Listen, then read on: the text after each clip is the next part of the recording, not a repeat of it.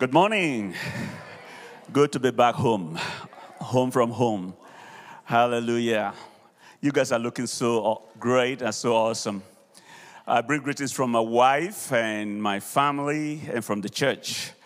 Uh, guys, I just want to let you know that we are living in the right time. Man, it can never be any better time to be alive. This is the season we are going to see the glory of God, the power of God, the presence of God. You know what? I thank God for what Paul, Peter, Charles Finney, what they experienced. I thank God for them. But listen to me, there is nothing to compare with the glory of the now. This is the right time. And we are going to see more of God's power. Pastor, I'm so excited.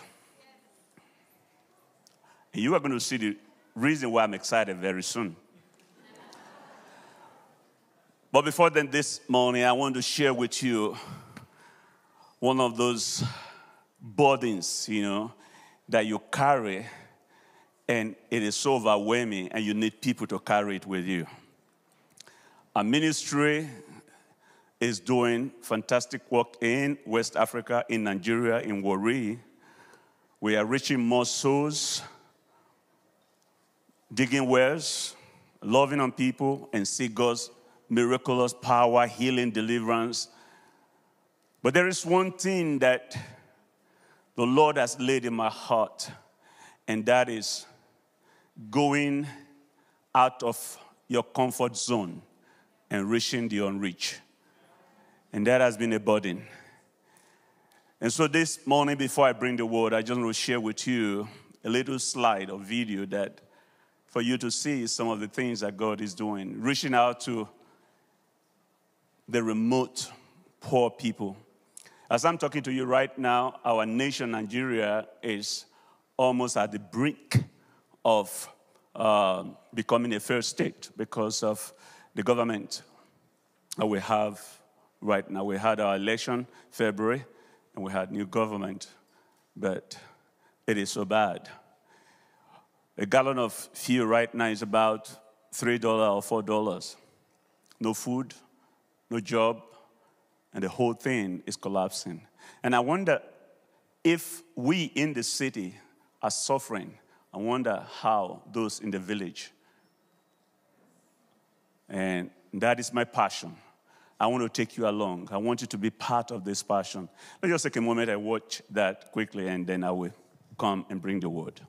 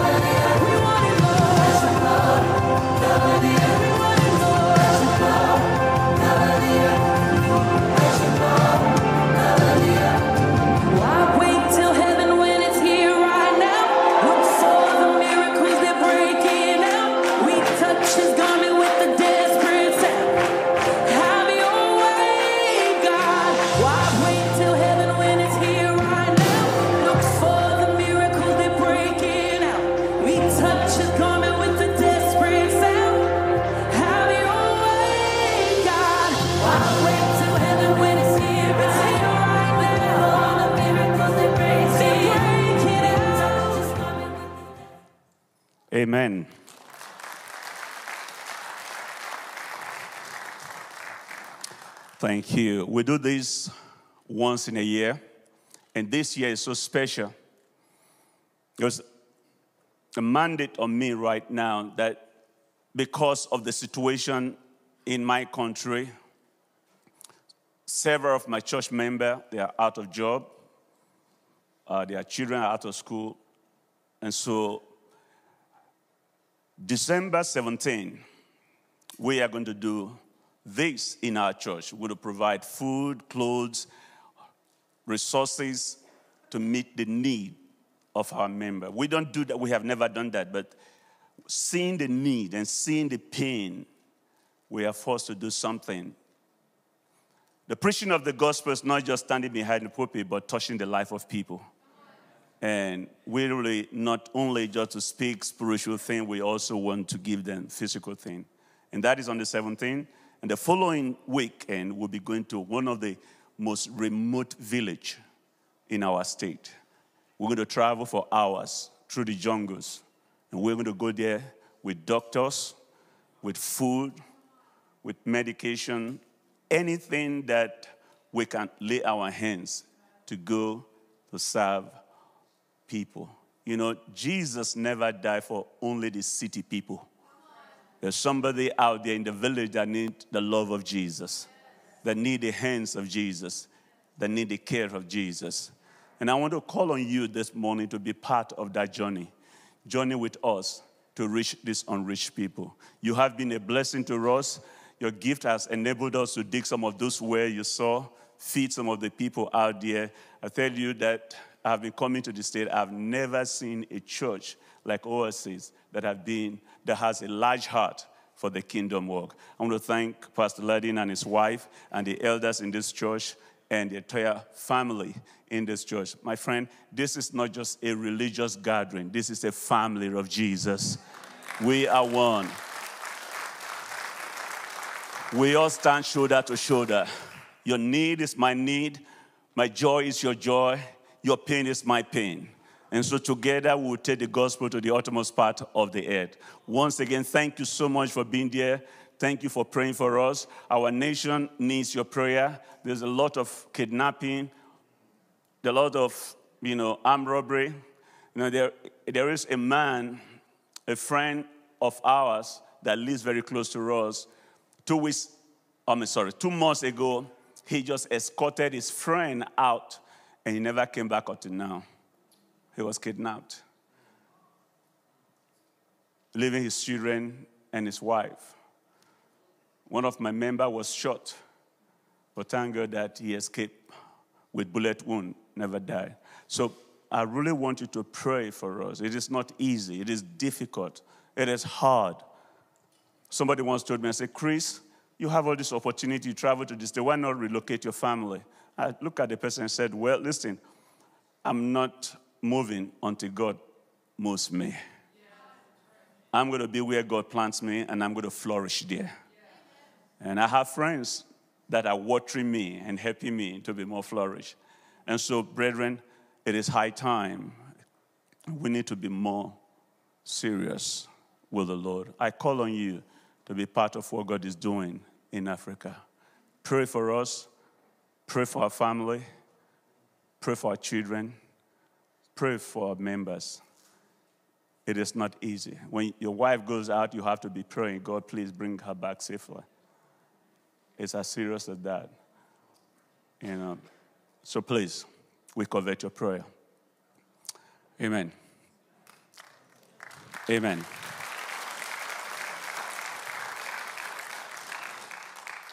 Thank you, Lord. Pastor. I know. I know. And everything that was said from this altar this morning brought a confirmation to my spirit. The Lord was speaking to me before I bring the word. The Lord was speaking to me. Whatever we are seeing right now, the wave, the move, is a preparation. The rating has not come. We are just preparing ourselves to get into the real deal. You remember the story of Elijah when there was a backsliding, Elijah came in and did what? The first thing he did was to repair the altar, to prepare the altar for the fire to fall. God is preparing the church, God is preparing our heart for the fire to fall. We thank God for the move we are seeing. We thank God for the, the healing, the deliverance, salvation that we are seeing. But the best is yet to come. I want you to prepare your heart. The days of being religious is over. You either get in or get out. You either roll your sleeve and get ready to move with God. You know, God is not short of power, God is short of people.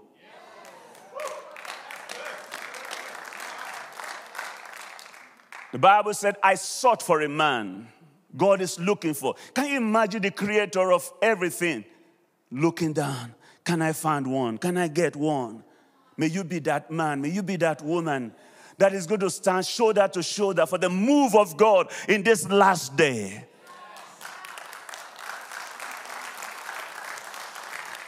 I believe that God is bringing us to a moment where the heavens of the heavens are going to be zipped open and there's going to be outpouring. Do we have containers in the house? Do we have vessels in the house? Do we have hungry people in the house?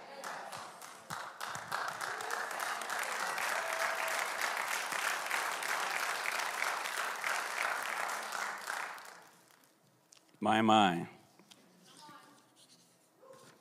Jesus, you are so awesome. Turn with me, if you can, please to the book of Acts of Apostle. Jesus, Sinda. Is that okay, Pastor?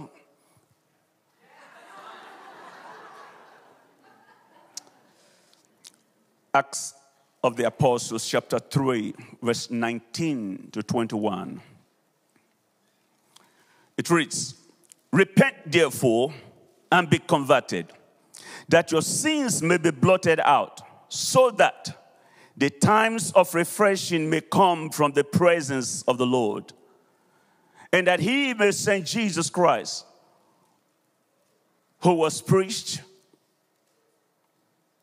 to you before, whom heaven must receive until the time of the restoration of all things, which God has spoken by the mouth of all his holy prophets since the world has begun. Father, I pray that you speak to us in the language that we will understand this morning. Father, I may have accent, but the Holy Spirit does not have accent. Take every word and minister to every heart that is present here. And let everyone that is present in this place feel the presence of God and the touch of God. In Jesus' name, I pray. Amen. I believe from the depth of my heart that God is preparing to do a great work. And we are privileged to be part of what God is doing.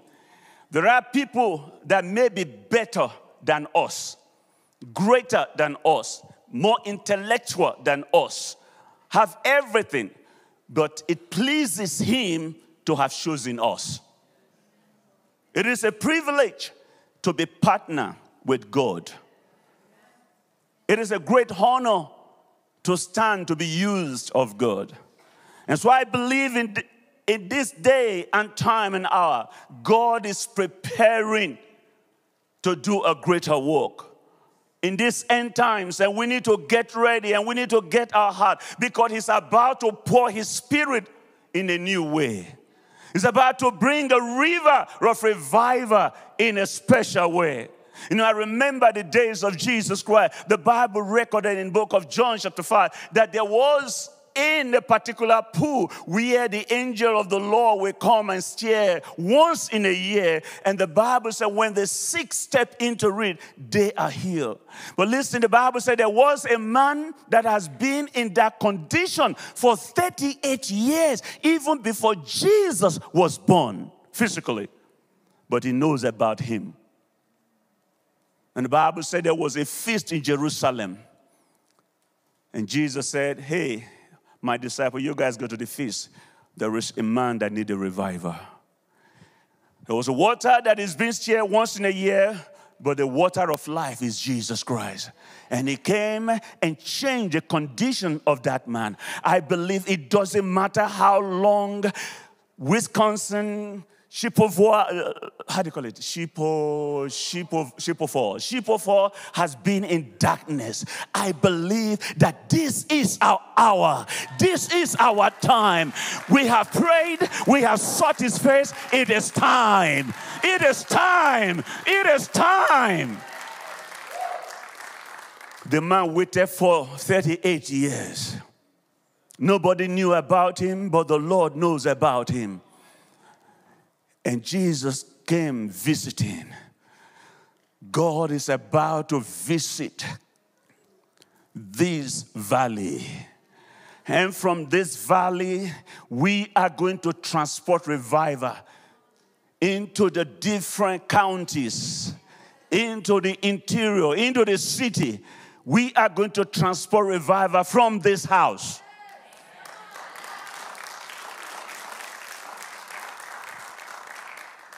The problem we have is that many are unaware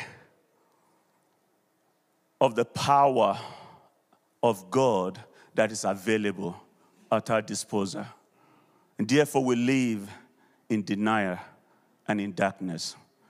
But, ladies and gentlemen, God is about to break a veil.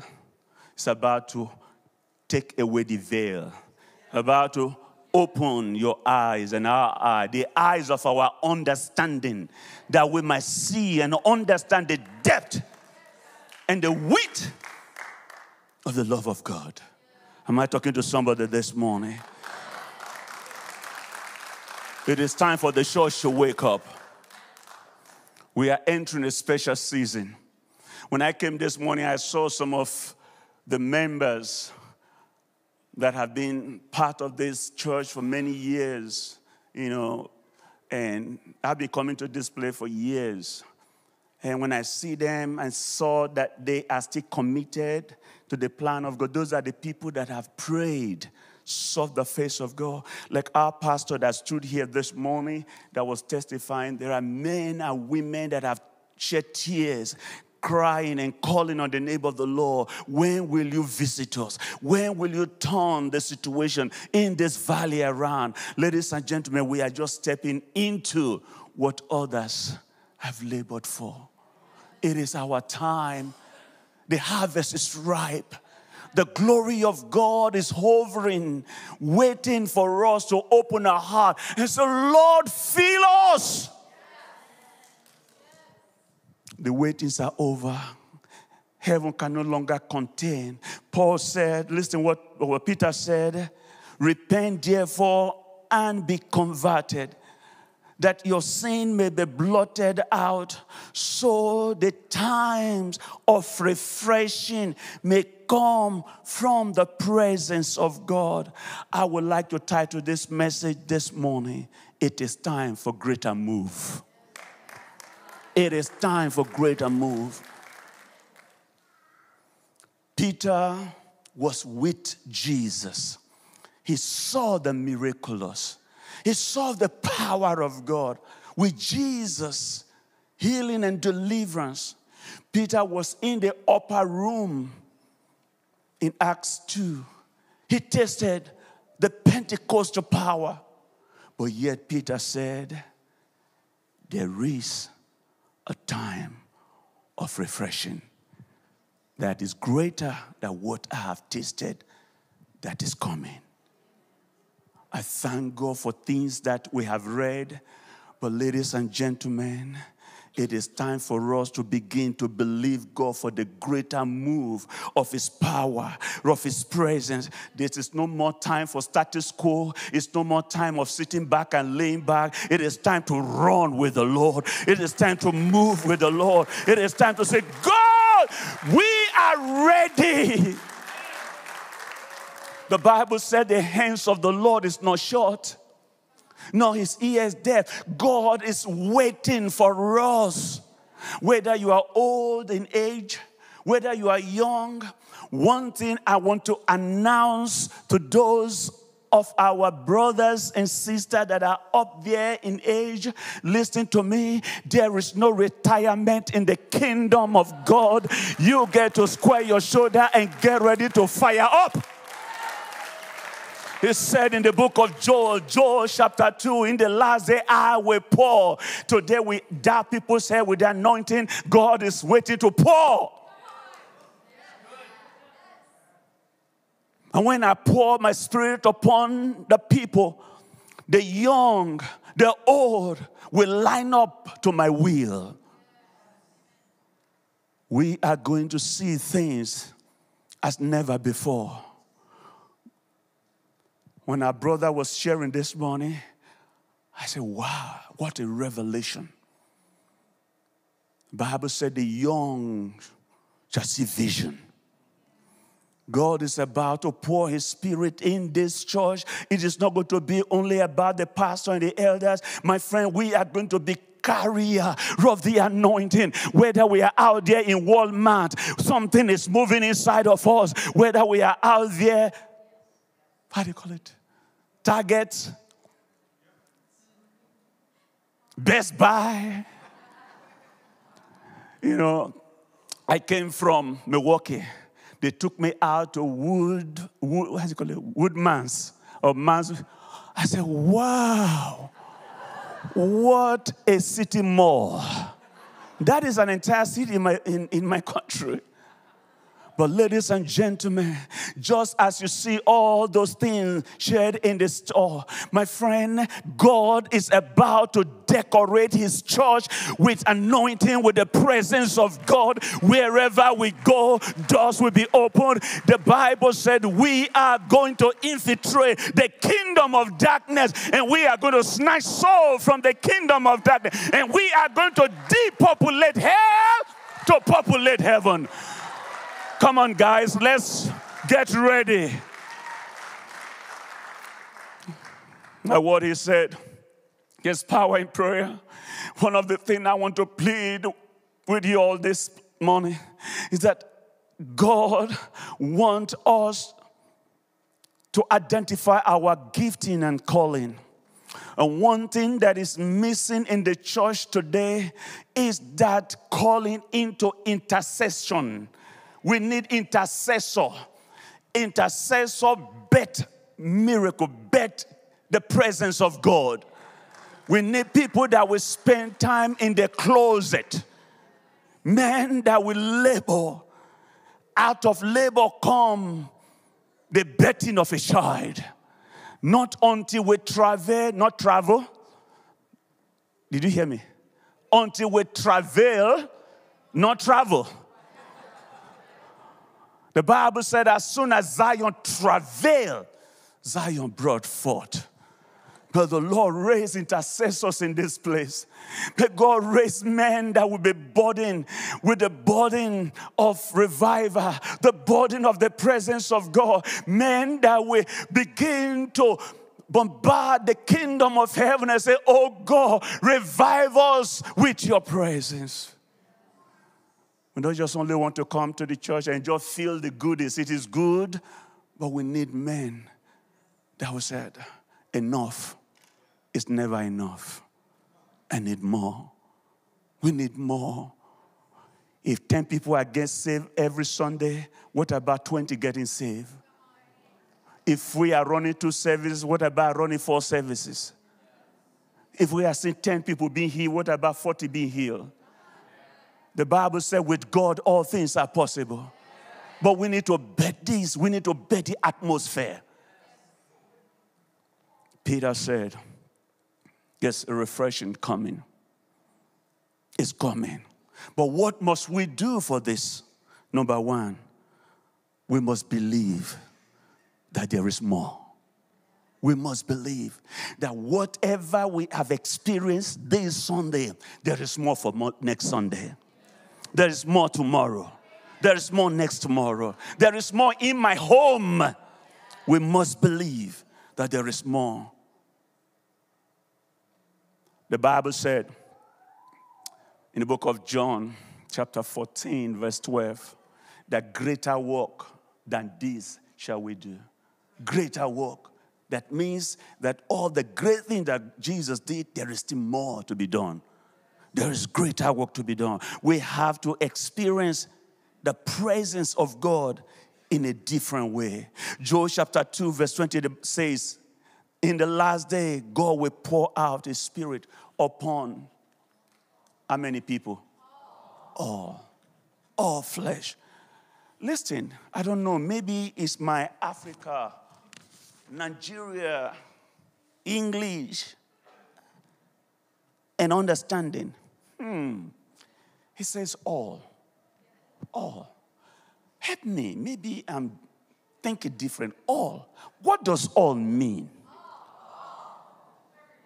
And what does all includes? Including you. God wants to pour his spirit upon all flesh. If the spirit is not poured on you yet, so Lord, what about me? Don't say it's okay, Pastor, we pray for me. Start thinking, who am I going to pray for? God, bring somebody into my life so that I can pray for. You have saved me so that I can be a contact point to save somebody else. Come on, say somebody, tell somebody is talking about you. Yes, amen. In the book of Haggai, Haggai chapter 2, verse 9, the Old Testament prophet tells us that the glory of the latter will be greater than the glory of the former. What does that mean? The glory that we're expecting is greater than what Peter experienced. Times of refreshing is coming, and it is coming from the presence of the Lord. He can't wait to refresh you. This morning I came in, I ministered in, in, in um, one of the churches, Spanish church. I came in, I rushed in. I we're there praising God. Oh my God, I was feeling so thirsty. My, my mouth was dry, my throat was, I looked around if there was no water. I said, well, let me just endure that after the service I will drink. I could not control my thirst. I turned around and said, Please, can I get water?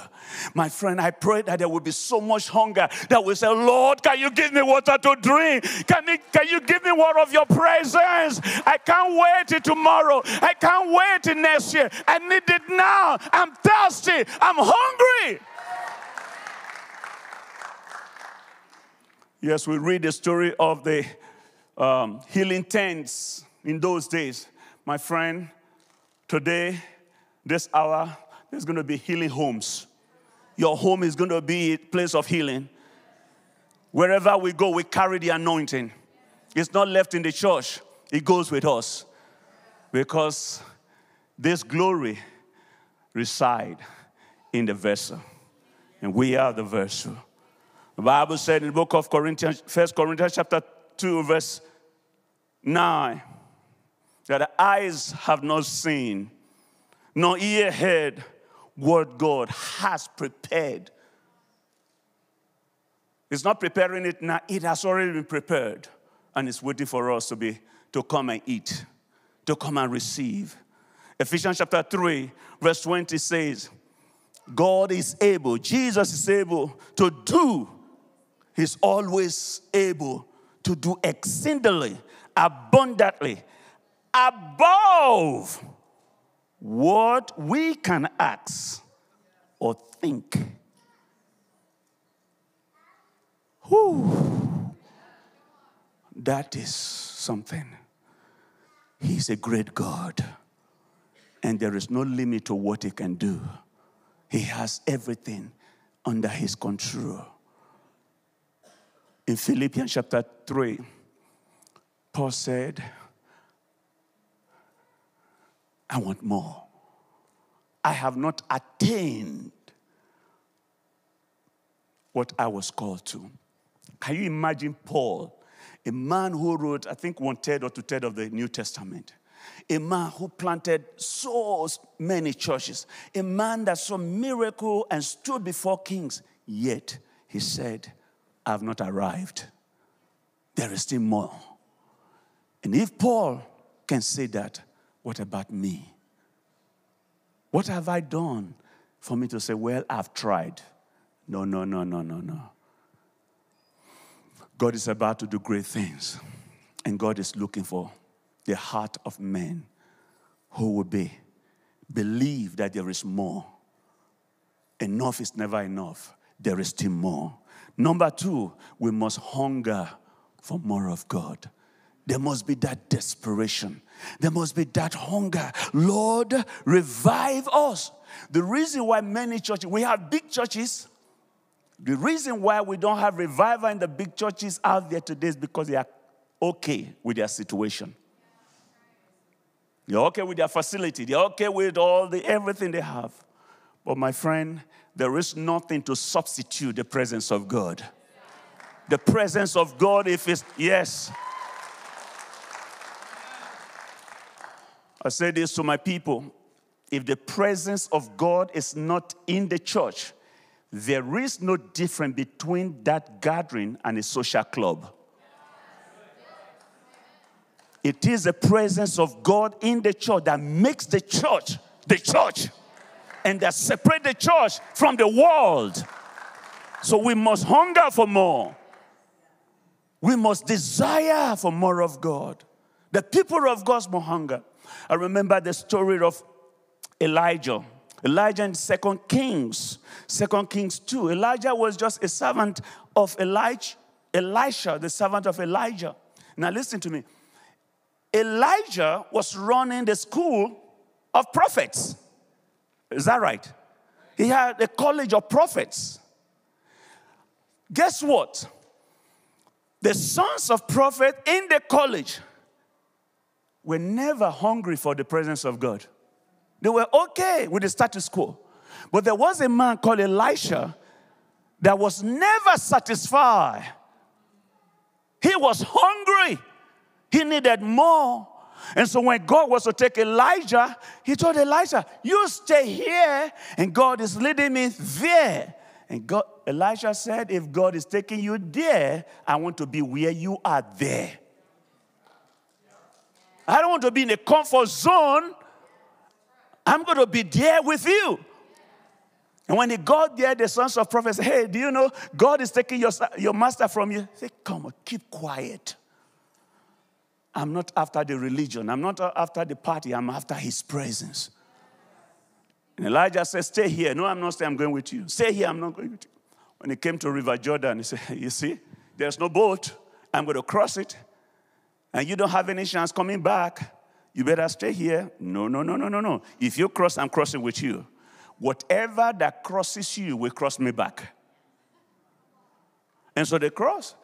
And then when they left, Elijah said, Hmm, now ask me, what do you want? What did Elisha said? Oh, I need anointing. Is that what he said? And want something that is greater than what you are carrying. Do you think that he made it up there? Did he made it up right there? No, no, no. That has been his desire. That has been something in him. If my master is doing this, Lord, I want to do more. If my pastor is doing this, I want to do more. If my deacon or elder is doing this, I want to do more. And guess what? What happened? And Elijah said, If you can see me, it is yours. And he did he received it.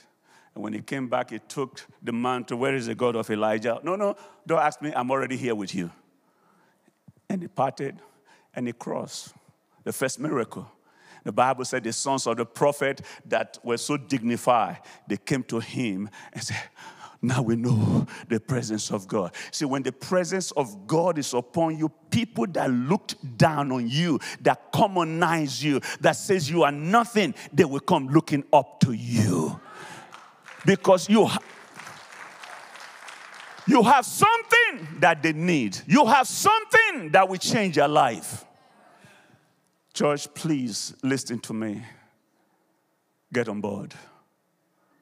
Get on board. It is our season, it is our time. If you missed it, you will live for the rest of your life regretting. The first thing, you must realize that there is more to what you already have. Number two, we must hunger for His presence. Mm.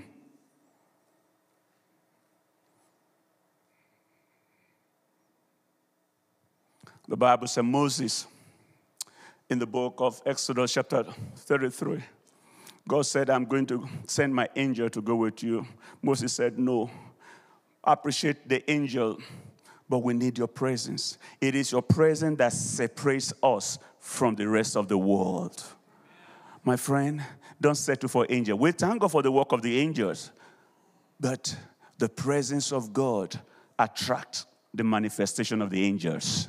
When you carry the presence of God, the angels will be at your service. They are there because the presence, not because of who you are, but because of who you carry. Are you listening to me this morning?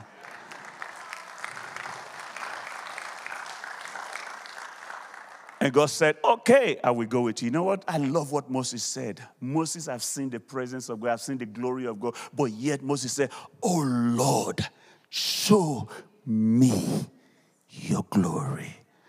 That, is, that should be our prayers. Thank God for the testimony of you yesterday.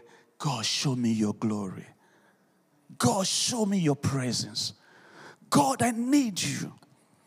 And the Bible said, God said, Okay, I will put you in a cliff and I will put my hand and I will show you my back. Well, that was the Old Testament, but the, the New Testament, the Lord has removed the curtain. Now we can see Him, we can behold Him, we can see the goodness of His presence. My friend, let's hunger for more of Him. Finally, the last point is that we must make room. We must make room. I love, I think you were the one that says something, or who's once somebody says something that, you know, we are, we, we are so saturated with so much thing that, with stuff, that we don't have room for more stuff. You know, when you need to bring more stuff inside, you have to remove some of the old stuff. You know, there are stuff that we have stuffed in. And for the new thing to come, we have to remove some of the old stuff, some of ideas, mindset, you know, the, the, the way of our belief. We have to remove it and make room. We need to make room. I want to give you a story, and I'm going to close with that. A story in the Bible. And that story is found in the book of Mark, Mark chapter 2, verse or verses 1 to 12. I'm not going to read it, you can read on your own.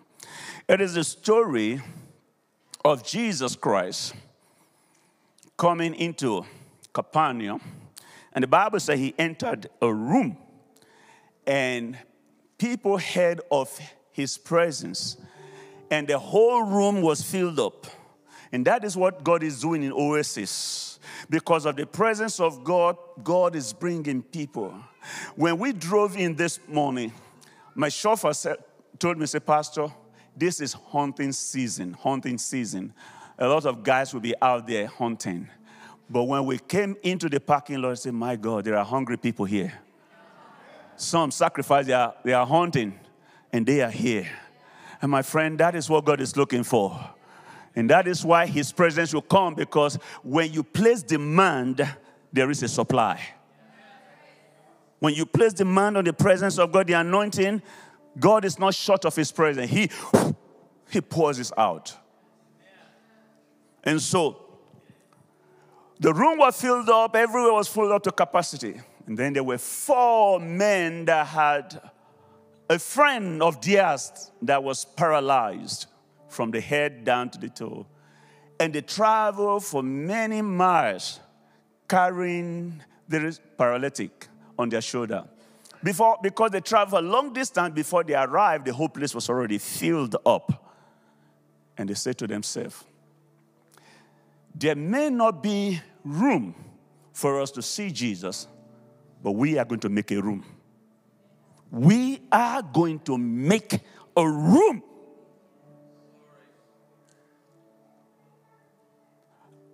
listen, I'm closing with this. I said, Jesus saw them, heaven saw them, but heaven was also looking at their action. They could have said, Oh, guy, friend, sorry, we came too late. Let's go back home. We'll look for other option, other alternative. there is no substitute for the presence of God. If I'm here, I'm here fully. If I need Him, I need Him all the way, not halfway, not half full, not half cup. The Bible said the four guys climbed to the top of the roof and started pounding on the tires, pounding. Read the Bible. The Bible said, and they made hole. They created enough room for the man to be let down. Let me ask you a question Was it an easy job? I know. I guess they had some bruises in their hands because they never, they never went with tools for that job. They were never expecting. But necessity necessitated them to do what is necessary. They pounded. And listen, when they were pounding, for those of you that are constru- into the construction company, when they were pounding, did you think that some debris fell on Jesus' head? Don't you think? Some particles, some things fell on Jesus because Jesus was sitting right in the middle, and they, they were able to know that this guy will be sitting in the middle so that he can minister. So let's let's dig the hole right in the middle.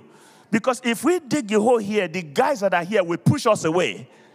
And we know that Jesus will not push. So they pounded and pounded, and some stones and rocks, some doors were falling on Jesus. And I can see Peter say, Hey, hey, stop. And Jesus said, Hey, hey, keep cool.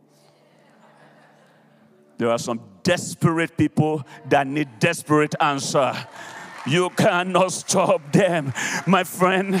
Yes, when we become desperate, heaven become desperate also. And the Bible says they let down the paralytic man. But there were people outside that needed miracle, but they were okay with them standing outside. But those that said standing outside is not enough got his presence. The Bible says, Seek his face. Seek him, and you shall find him. Knock, and it shall be opened unto you. Ask, and it shall be given unto him. Don't say it's okay, well, maybe next time. There may be not next time. This is the time. And Jesus looked at the paralytic man. He was useless, but he looked up and saw four men that made room for the paralytic man to be in my presence.